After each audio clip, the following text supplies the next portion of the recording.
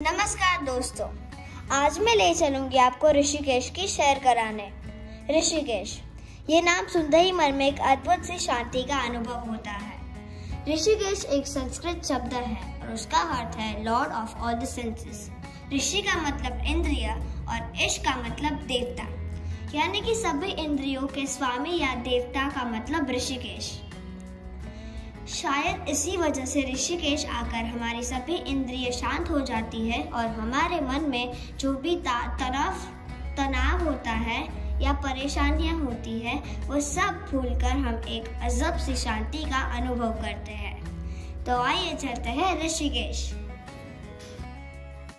तो हमने Kanpur railway station जाने के लिए मेट्रो में सफ़र किया और वहाँ से ट्रेन में सीधा ऋषिकेश। ये आ गए हम मेट्रो के प्लेटफॉर्म पर। ये बहुत ही शानदार है और यूरोप के स्टेशन जैसा लगता है। ऋषिकेश आप बाय एयर भी जा सकते हैं। आप अहमदाबाद से दिल्ली की फ़्लाइट ले सकते हैं और फिर दिल्ली से बाय रोड 250 किलोमीटर का ट्रैवलिंग करके आप ऋषिकेश आ सकते हैं। या फिर आप अहमदाबाद से देहरादून की फ़्लाइट भी ले सकते हैं और देहरादून से ऋषिकेश सिर्फ़ 21 किलोमीटर पड़ता है। और ये आ गई हमारी मेट्रो, जो हमें सीधा कारोगुल रेलवे स्टेशन ले जाएगी और वहाँ से हमारी ट्रेन सीधा ऋषिकेश। सो लेट्स गो हम बड़े ग्रुप में ट्रैवल कर रहे थे तो हमारे लिए ट्रेन बहुत कन्वीनियंट थी, क्योंकि अगर आप ग्रुप में ट्रैवल करते हैं तो ट्रेन का मज़ा कुछ और ही होता है। ट्रेन में हमने बहुत मस्ती की।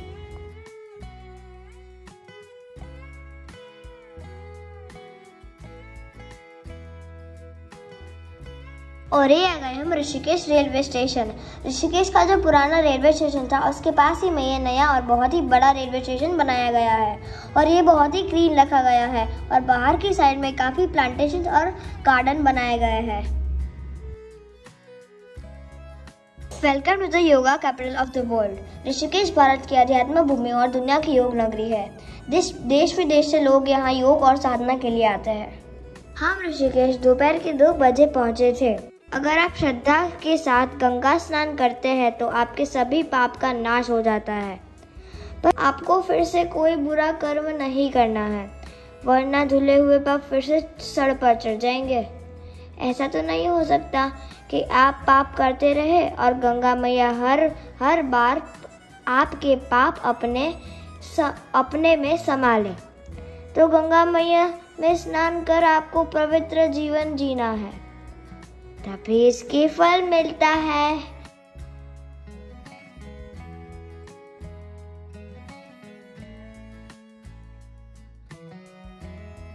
और यहाँ गंगा घाट पे बैठ के सनसेट देखने का मज़ा ही कुछ और है।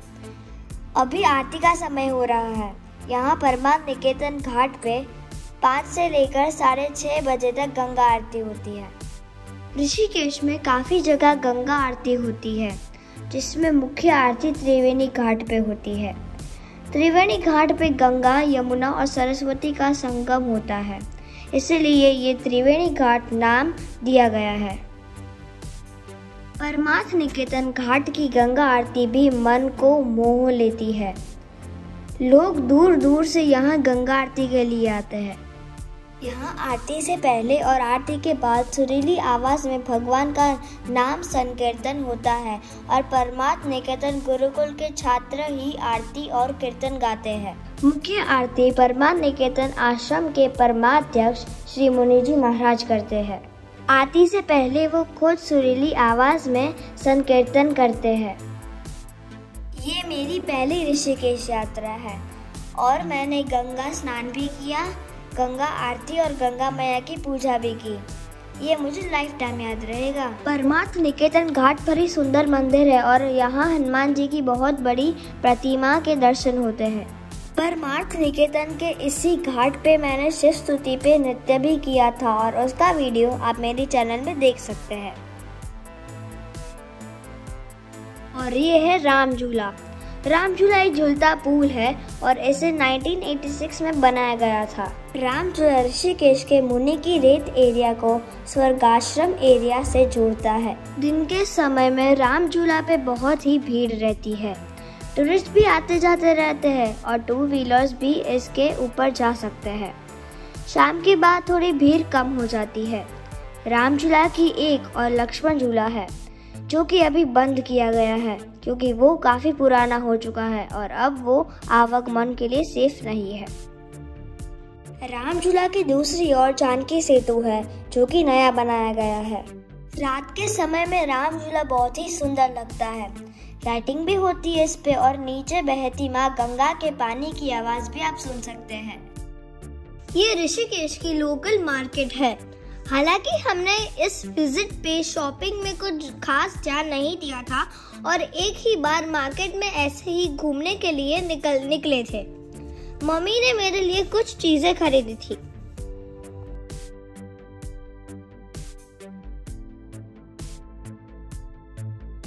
आप ऋषिकेश आए और राफ्टिंग ना करें, ऐसा तो हो ही नहीं सकता।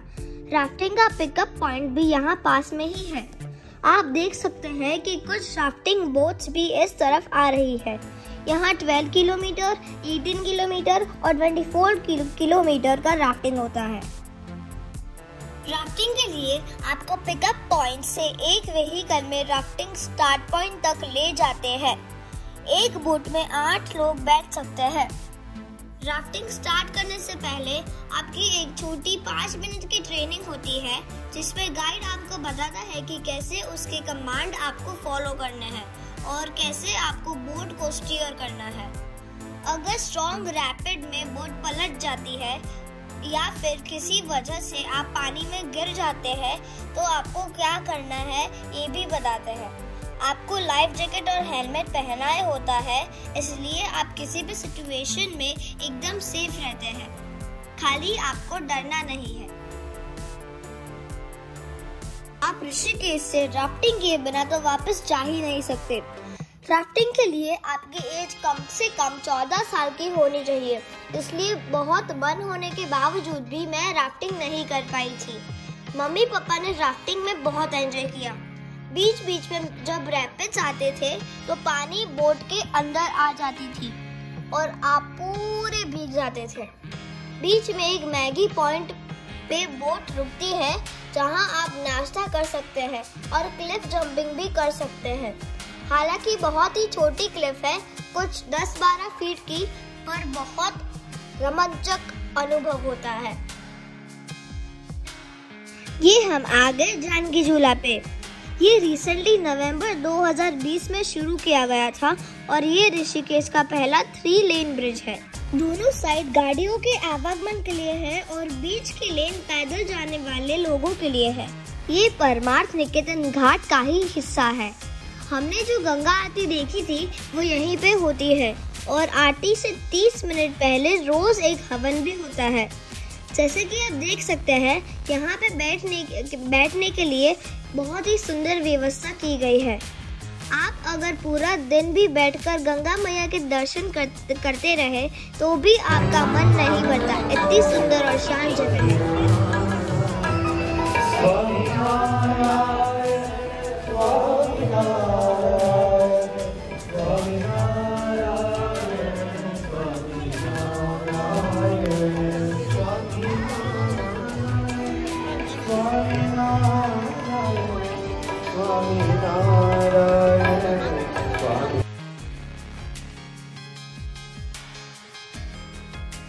जैसे कि मैंने आपको पहले बताया था, त्रिवेणी घाट की गंगा आरती भी बहुत ही दर्शनीय है।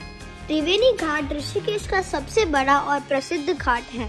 गंगा आरती का दृश्य भी आपके मानस पटल में हमेशा के लिए अंकित हो जाता है। एक साथ बहुत सारे पुजारी एक जैसे ही वस्त्रों में जब एक ही लय में माँ माँ गंगा की आरती करते हैं तो आपको दृश्य कभी भूल ही नहीं सकते। आप अगर ऋषिकेश आ रहे हैं तो त्रिवेणी घाट की आरती तो आप मिस कर ही नहीं सकते। हम ऋषिकेश में परमार्थ निकेतन में ही रुके थे। यहाँ पे रहने के लिए बहुत अच्छी सुविधा है और ये गंगा घाट के बिल्कुल सामने है। हम रोज सुबह और दोपहर के बाद गंगा स्नान के लिए जाते थे।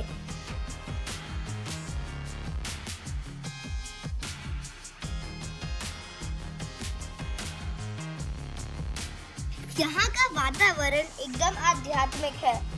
यहाँ के गुरुकुल के बच्चे वेद मंत्रों का गान करते हैं, ध्यान करते हैं और एक ही यूनिफॉर्म में इतने मनोहर लगते हैं कि आपको लगता है कि बद्रिक आश्रम में आ गए हो।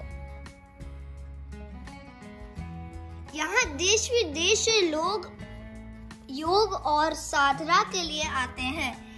यहाँ के अध्यक्ष परम पूज्य मुनि स्वामी, चिदानंद सरस्वती सनातन धर्म और पूरे समाज कल्याण के लिए बहुत ही अद्भुत कार्य कर रहे हैं। यहाँ रोज शाम को सत्संग भी होता है।